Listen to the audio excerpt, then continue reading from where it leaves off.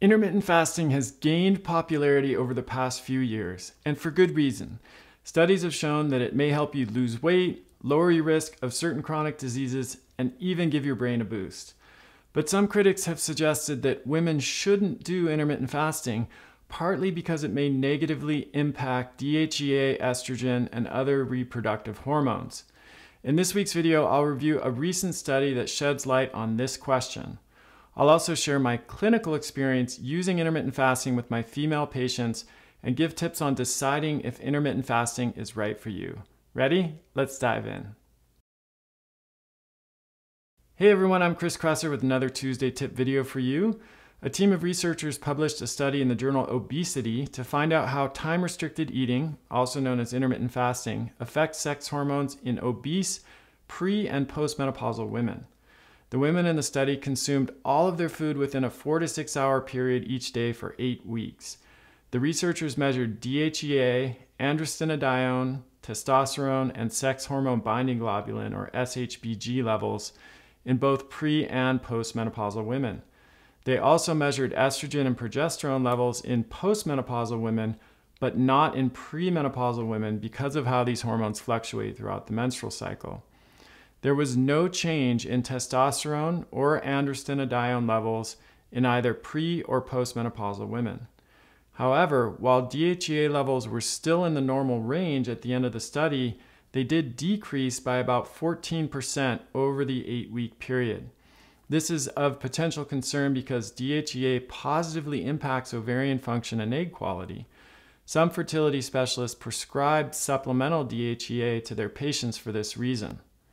On the other hand, several studies have shown that a reduction in body mass index in obese women can significantly improve fertility. In an interview in Science Daily, Krista Varady, the lead author of the study, said, quote, this suggests that in premenopausal women, the minor drop in DHEA levels has to be weighed against the proven fertility benefits of lower body mass. The drop in DHEA levels in postmenopausal women could be concerning because menopause already causes a dramatic drop in estrogen, and DHEA is a primary component of estrogen. However, a survey of the participants reported no negative side effects associated with low estrogen postmenopause, such as sexual dysfunction or skin changes.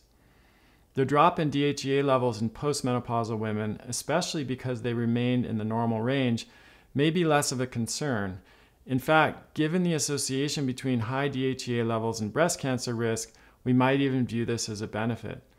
DHEA and estrogen support healthy bones in women, so some clinicians have worried that intermittent fasting may have a negative impact on bone density. But a six month randomized controlled trial, also published in the journal Obesity, found that time restricted eating did not negatively impact bone health. On the contrary, the participants that lost weight during the trial saw a slight improvement in some measures of bone health. So, does this mean that intermittent fasting is a good idea for all women? Not necessarily. In my 15 year career treating hundreds of women, I've seen both positive and negative responses to intermittent fasting. I found that the best way to predict whether intermittent fasting will provide a benefit is to better understand how time restricted eating works. Intermittent fasting is what's known as a hormetic stressor. A hormetic stressor is a form of stress that induces a positive adaptation. In other words, it's a stressor that improves the functioning of the body over time. Lifting weights is a good example.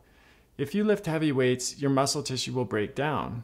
This might sound bad on the surface, but the stress of that heavy weight breaking down your muscle tissue causes your muscles to rebuild stronger so they can face that same challenge in the future. This is why weightlifting leads to bigger muscles. Intermittent fasting works in a similar fashion. Our cells experience a mild form of stress while we're fasting. This initiates a waste removal process called autophagy, which eliminates dysfunctional damaged cells to make room for new healthy ones. Autophagy has been shown to reduce oxidative stress and inflammation and protect against diseases like cancer and dementia. Here's the key thing to understand. While intermittent fasting can have a hormetic or positive effect when background levels of stress are relatively low, it can push us over the edge if overall stress levels are high. This makes sense, right? Going back to the weightlifting analogy, we understand that pushing it too hard when our bodies are already taxed from things like poor sleep, a chronic health condition, or other stressors will be counterproductive. The same can be true with intermittent fasting. Imagine a woman struggling with an autoimmune disease, not sleeping well, with three kids and a job outside the home, and under tremendous financial stress. Intermittent fasting might be too much additional stress on her system. If you're in any of the following circumstances, I'd advise caution with intermittent fasting, or in some cases, avoiding it altogether. You're suffering from chronic fatigue or HPA axis dysregulation, also known as adrenal fatigue. Your hormones are out of whack. You're trying to maximize fertility, unless you're significantly overweight, in which case the benefits of weight loss may outweigh any potential impact on DHEA levels, as this study showed you suffer from any type of eating disorder, you're under a lot of stress, or you work at home. I have a podcast episode called Is Intermittent Fasting Good for You? that goes into more detail on how to determine if time restricted eating is right for you. I'll put a link to that in the description. I'll also link to an article on my website called Intermittent Fasting The Science Behind the Trend. It summarizes the most recent research on intermittent fasting and explains the mechanisms in more depth. Okay, that's it for now. If you enjoyed this video, make sure to click the subscribe button in the lower right and tap the notification bell so you'll be updated when I release new content. If you know someone that might benefit from this, please do share it with them by clicking the share button right under the video. Thanks for watching everybody, and I'll see you next time.